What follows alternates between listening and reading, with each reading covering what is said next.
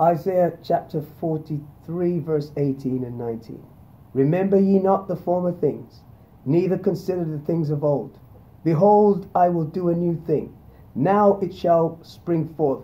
Shall ye not know it?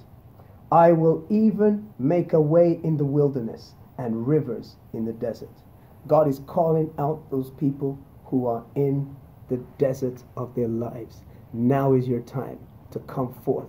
Now is the time of your deliverance. The Lord is taking you out like He took Moses out of the wilderness of Midian so he can go to Egypt to do his, his assignment, which is to be a deliverer of God's people. God is bringing a new thing in this, the year of Jubilee.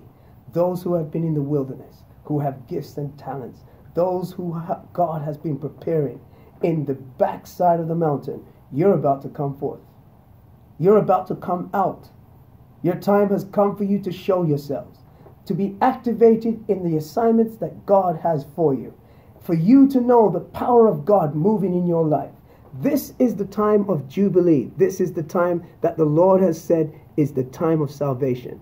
You will affect the lives of others, but you must first be in the position to do so. Do not be afraid in this season because God will bring you out not to shame you, but to highlight you because you will put Him first.